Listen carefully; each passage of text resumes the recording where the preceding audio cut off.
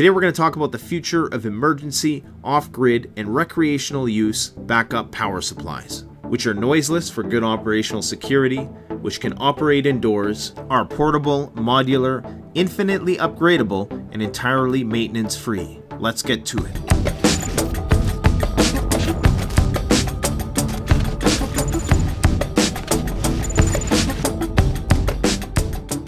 Hi folks, Canadian Prepper here. So if you're somebody who's directly impacted by the current economic crisis that we're all facing due to the lockdowns, then the first thing you need to do is turn this video off and go and buy some food and a shotgun because you're probably gonna need it.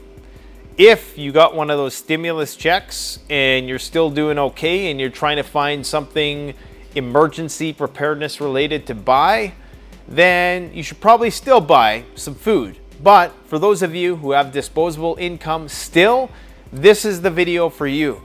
So we have Nintendo. I'm not sure if this is a Sega Genesis or a PlayStation. PC, Xbox. Which one is the best?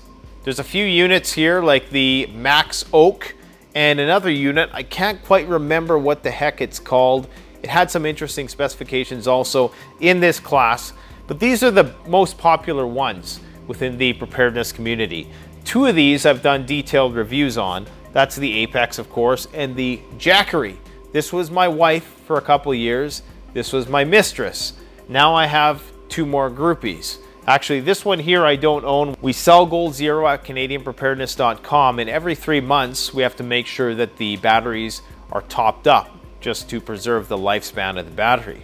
Now, the only reason why we only sell Goal Zero is because that's the only company that has good supply and distribution here in Canada. Otherwise, I would sell all these units because they're all great units. They all have different X factors, different things which make them stand out from the rest. And of course, they all have their weaknesses, which we're going to talk about today. So today we're going to do a comparison to see which one of these consoles is the best, because this is really starting to seem like a console war. You know, you had your Goal Zero, who's been around since the beginning. Really, this probably should be the Nintendo, but because of the look of it and the power of it, the Yeti Lithium, we're going to call this the Xbox, okay? It's been around the longest. You know, it wasn't crowd-funded. They've been around for a long time, but you pay a premium for that. And as I'm going to talk about, there's some downsides, of course. The EcoFlow Delta is the PC because it's far and away the most powerful unit. I shouldn't say far and away. Uh, none of these, they're all kind of within the same range, 1,000 to 2,000 watts in terms of storage and output power. But the EcoFlow Delta, you're getting probably the most powerful unit at the best price point. But there are some drawbacks.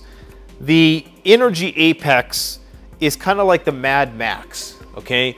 because it's built for longevity. 2,000 recharge cycles on the battery, and that is due to how the output power is regulated. The Jackery is kind of your weekend warrior family plug and play. It's the Nintendo. It's the one you have fun with, you grab and go, you have fun with once in a while, but in the end, it's probably going to end up in the dumpster before something like this. Now, before we talk about these, let's talk about the Flex modular system that the Inergy is coming out with. Now, with the Apex, they promised additional batteries that you could plug into this one, lithium batteries. And so what they decided to do instead was rebuild the whole thing from the ground up. The additional lithium batteries will still work with the Apex, so you can buy one of just the battery and use it with this. So essentially the Flex system is a modular, interchangeable system of three main components. So there's the brains, which is, you know, all of your outputs, your inputs, uh, the LCD screen, all that stuff. And then there's, of course, the batteries. And you can chain up to 96 of these additional lithium batteries. Each battery is one kilowatt hour and they stack on top of each other and they all lock into each other. And you can also get additional MPPT charge controllers which are going to allow you to charge all of the batteries much faster.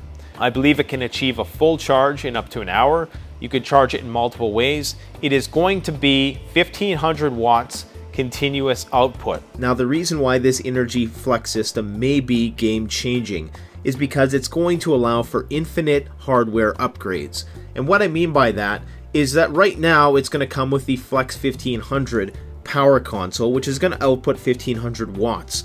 But say in the future they decide to come out with a 3000 watt power console or a 5000 watt power console, well you'll be able to buy just the console and not have to re-buy all the battery packs. It will be backward compatible with all of your battery packs. The batteries of course always have a life cycle which tends to go well beyond the power consoles becoming obsolete in the future. Because indeed, there's going to be 3,000, 5,000, even 10,000 watt lithium power consoles coming to the market at some point in the future. So this ensures that you'll actually be able to get the most out of the batteries that you buy because they will be backwards compatible with future power consoles. Now, this Inergy Apex is rated for 500 and I think it's 550 watts output, but it's a 1500 watt inverter. So you can actually achieve 1500 watts output for short periods of time. Usually I was able to achieve it for between one to three minutes running those high drain devices. Now the reason why they do this is because they wanted to design the unit so that they could achieve those 2000 recharge cycles. But people complained because people wanted to be able to use 1500 watts continuous, even though this is only a 1.1 kilowatt hour battery. So that would mean that you would be discharging it faster than you could ever charge it because it can only charge at 500 watts an hour. So the actual applications that you would require something like that for for extended periods of time, this size of unit or any of these units for that matter, are not really made for that purpose. So Inergy decided to remove those fail safes because now you're going to have a much larger storage of power if you add on additional batteries. So that makes it more practical to use that amount of power for extended periods of time in a way which is not going to totally immobilize the unit by making it too heavy because the lithium, although it still weighs a lot, I believe each additional battery is going to weigh 16 pounds. So if you were okay with your unit weighing 100 pounds and moving it around on a dolly, you know, you could potentially have six, 7,000 watt hours of power and use that for extended periods of time.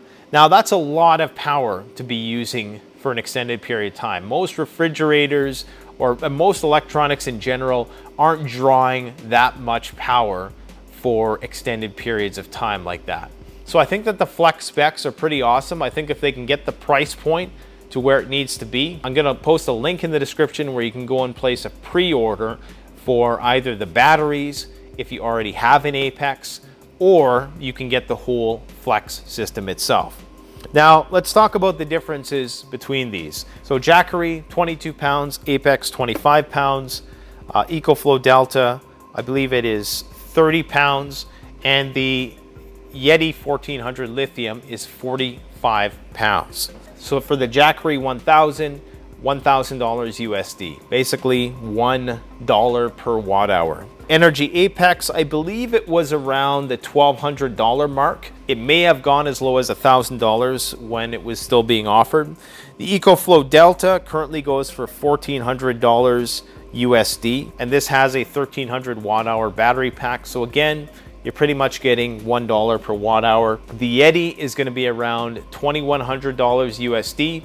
You're getting about 1400 watt hours of power, 1500 watts continuous. So in terms of the fastest charging units, the fastest charging by far is the EcoFlow Delta. Will charge up to 80% in an hour. It's incredible. You can watch the thing charge up. That's a lot of power in an hour. But remember, that comes at the cost of potentially putting your battery into ludicrous mode like a Tesla. You know, they have that mode where it allows you to discharge the battery or charge it up a lot faster. Unfortunately, that's going to wear down your battery a lot faster. So you're only getting between 500 to 800 charge cycles with this kind of battery. After that, the battery is around 60% of its original capacity. The Yeti charges the slowest, 25 hours. You can charge it by solar at around two to 300 watts, so you can get it much faster. Uh, the Apex via solar will charge rather quickly also, two to three hours if you have your 500 watts of solar panels on here. Again, that requires good sunlight and five to 600 watts of solar panels. So what are the X factors with all of these? Reliability, power, longevity, plug and play. Ease of use, built like a tank. If I had to take one of these into a battle zone, it would be the Apex. The only problem I have with it is I don't like this handle. Yes, it's ergonomic, but I think this would be better served as aluminum or some kind of metal, just to kind of complement the rugged design, but that's not going to change because this item has been discontinued. But I noticed they're using the same handle on the Flex, and I think that uh, that would be better served to something that doesn't have any play to it, that was just sturdy like the Jackery. You just have more control over it if you do have to move rather quickly with the device. So it'd be nice to see that have a metal handle, especially if you're going to be carrying a bunch of batteries hooked on underneath it, then uh, I'm not sure if I trust this, what looks like to be some kind of heavy duty nylon fabric. I don't really trust that, so I'd like to see that improved. But definitely, this is the one, because it's made of metal, you know, most of these, if you were to drop them or drop something on them, this is gonna crack, okay? Whereas with this, it's gonna dent, but it's still gonna last. EcoFlow Delta, obviously the most powerful device of all, but something I don't like about it is that it has all of the input and outputs on three different sides. So you have your AC and your DC output on one side, you have your USB on another, and then you have all your inputs in the back. So if you're buying this to save space, you'll probably want the screen facing forward. So if you had to plug something in, you got to go in through the back and then you got to charge it from the side. So it'd be nice if it had all of that stuff just on the front. That's one of the great things about the Yeti is that everything is right there in the front. It also has some storage in the top that you can put cords, accessories, your phone, anything like that. So that's kind of neat also. So everything's right there in the front. That's what I prefer. Uh, the Inergy doesn't really have that. It has the inputs coming in on the side and the output in the front whereas the Jackery is all out the front as well. The EcoFlow, I guess, you know, they're trying to cram a lot of power into the smallest amount of space and I guess they have to make those concessions. Uh, the other thing with the EcoFlow is that it is the loudest unit. When it gets going, it's pretty loud. It's nowhere near as loud as a gas power generator. So, you know, first world problems. The other thing about the Apex, of course, is going to be the modularity. Now, EcoFlow is going to be releasing another unit later this year also, which is going to have modularity, but it's not going to have the output power. So Inergy is basically going to achieve the power of the EcoFlow, but have the modularity and still the same rugged build as uh, the Apex did. So that's pretty neat. Now, in terms of the Yeti, it's arguably the best looking. It's the most reliable. Like I said, it has that compartmentalized storage. But some things that it lacks, of course, is that there are only two AC outputs. Now, of course, you can just use a power bar or you could use uh, some kind of splitter if you wanted to. So that's not a huge deal breaker, but it's kind of nice having that. Like, I mean, the Apex has six. Some people will say, well, you're never going to use that many devices, but you know, there's a lot of different things which only take 50 to 100 watts. And when you have that many watts to play with, you very well can be using all those at the same time. You could have a laptop going, some lights, you could be charging uh, some batteries for a camera, charging a phone, flashlights, radios, a variety of things that you would need to charge via AC. So you can actually fill it up fairly quickly. So who are these units for? I would say that the Jackery is a good unit for the weekend warrior, you know, the small family going to the campsite for the weekend, going to the beach or something like that. I would say that the Flex system is going to be more geared towards the prepper because it's built for longevity once again. Uh, the only problem I have with that is that so far, at least with the Apex, it was only a one year warranty. The rest of these have a two year warranty. So I really think Inergy needs to step up its warranty game if it wants to be consistent with the build quality. For the EcoFlow Delta, I see this as more of a upscale backup power in-home power supply. Yes, you can take it out and do stuff with it in the wilderness, but it just doesn't seem to have a, a rugged enough feel to it that I would want to bring it out into the wilderness a lot. Mind you, all of these have places of ingress where it's going to collect dust or moisture. Uh, maybe it's more just the look. It has a much more finished look to it. So I shouldn't bash on it too much in that regard because you can definitely, you know, likely take this out and put it through a lot of the same abuse that as you would all of the rest of these. And it is quite streamlined also. The chassis is quite unibody in its build, whereas the Goal Zero, uh, even though it has more metal components, it has some aluminum components with the plastic. It's, you know, it's got a bit more going on here on the outsides and stuff. So that's something to, to keep in mind. But I still would say this is more of an upscale in-home bug-in power supply for the suburban type. I would say that the Goal Zero Yeti is more for a semi-permanent installation. You can use that 1500 watt draw continuous. Mind you, you can only charge it at a certain rate. So even if you did use it 1500 watts continuous, if you can only charge this thing 300 watts an hour, that's all you're gonna be able to use an hour. So that was the philosophy with the Apex. And that is something that bears repeating. With the new Inergy Flex system, you're gonna be able to do 1500 watts continuous and you're gonna have a much larger power supply with the Flex battery system. So for me, that kind of sounds like a game changer because the EcoFlow Delta is gonna have that capability, but it's not gonna be modular in the same way. The extra batteries are going to be something that's separate that you plug into. So it's not going to be all one thing that snaps together like the uh, Flex system is going to be. But Goal Zero, not to be outdone, will be coming out with a 3000 watt continuous output power model this year. It may already be out, but that of course is going to weigh a ton because it's going to have a lot more onboard power storage and it's literally probably going to cost you an arm and a leg. I'm thinking probably between three to four thousand dollars. That's just a guess. Don't quote me on that. It could be cheaper than that. So which one is the best unit? It really depends. It really depends on what you're looking for.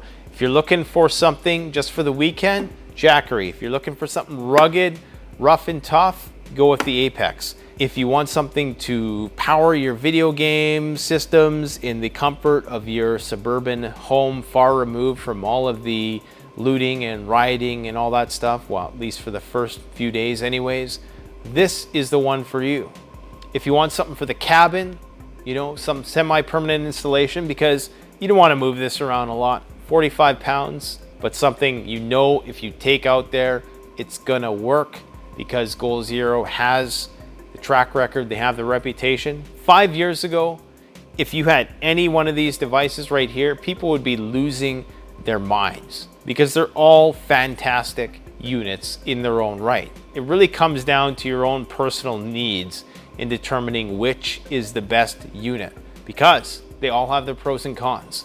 So if and when this recession or quite possibly depression ever ends, which unit would you consider and why? Let me know in the comments section below. Thanks for watching. Don't forget to like, comment, subscribe. Canadian Prepper out. The best way to support this channel is to support yourself by gearing up at CanadianPreparedness.com. Your one-stop shop for premium, high-quality, brand-name products that have been tried and tested by myself and other YouTube gear reviewers.